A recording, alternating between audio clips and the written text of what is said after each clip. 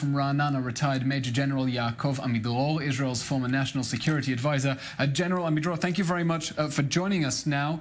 Uh, how dangerous is the situation right now? How do you expect that Iran will retaliate for the killing of Qasem Soleimani?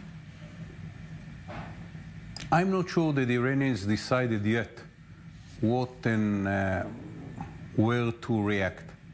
Um, I'm sure that within the system will be uh, an argument between those who are uh, revenge motivated, uh, and you can hear it from what they just published, and those who are more sober and will say um, a war against America is not the interest of Iran.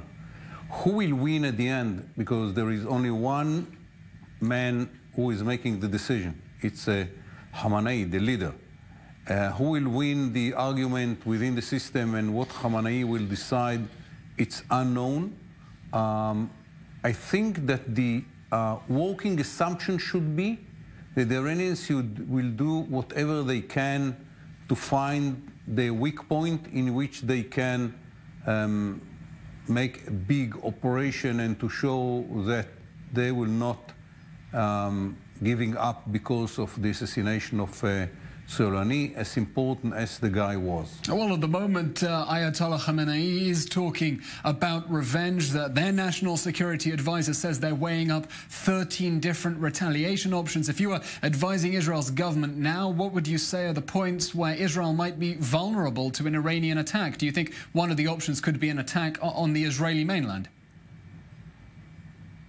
I don't. My assessment is that they will not uh, attack Israel. They don't need. Uh, Israelis in the battlefield. The, it, it, America is big enough. You don't add mm. another enemy to the, to the battlefield. But uh, that should not be the assumption of the decision maker.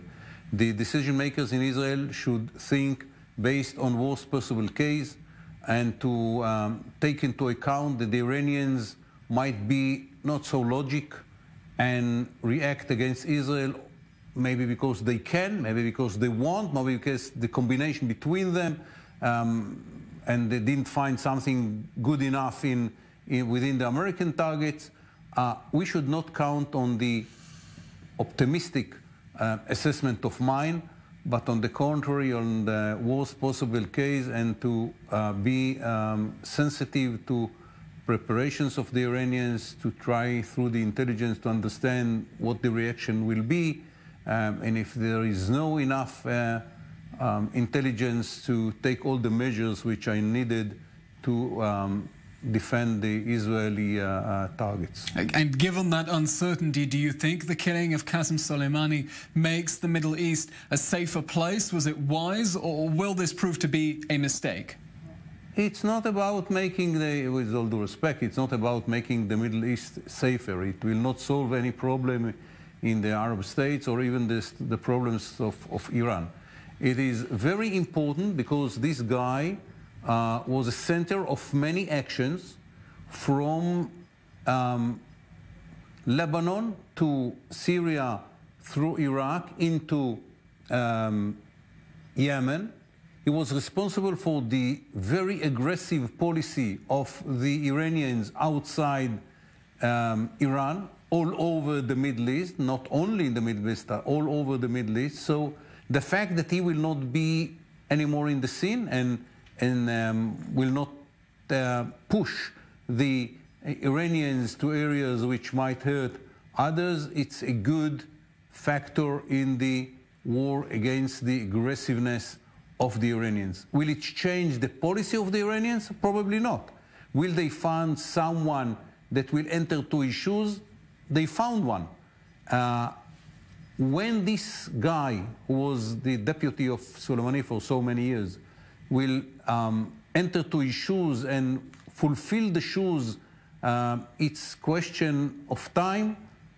My assessment, it's not days, it's months or even a year, because uh, he was a very talented uh, person with special standing, charisma, um, he gained the trust of so many people. He had connections with so many uh, people that it taking time to get all the capabilities that he had and to be in the same level of conducting operations. So I think it's a blow to the possibilities or the capabilities of the um, Al-Quds forces outside Iran, not forever, not for eternity, but for a while and I think it's a good result. The uh, Pentagon is now distancing itself from Trump's threats on Twitter to strike Iranian cultural heritage sites, admitting that would be uh, indeed a war crime. Do you think President Trump's aggressive rhetoric on Twitter against Iran is helping at the moment? I'm not an expert for Trump, and you have, you have to take uh, Americans who understand the language and the culture of the White House. It's not my expertise. Uh, what I can say that um, there are enough targets in Iran without going into such targets which are purely civilians. Uh, Iraq is now demanding that the United States pull its troops uh, out of Iraqi territory. Do you think in the end this will be Iran's big strategic victory, getting the U.S. to leave Iraq, turning it all into an Iranian sphere of influence? No question that if uh, the Iranians succeed to push the Americans out of Iraq, or if the Americans decide to pull out of Iraq based on the circumstances, it will be a huge success for the Iranians. What they want to have, and they are pushing all the time, all around, uh, not hesitating to make the most um, aggressive actions against civilians in Iraq, in Lebanon, everywhere where they want to control Iraq as they are controlling Lebanon. And they have almost full control of Lebanon, and the dream of Iran is to have such level of influence in Iraq.